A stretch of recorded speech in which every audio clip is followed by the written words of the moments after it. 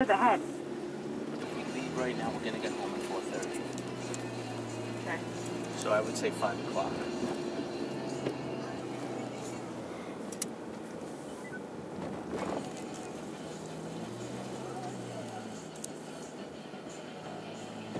Got it, sweetheart?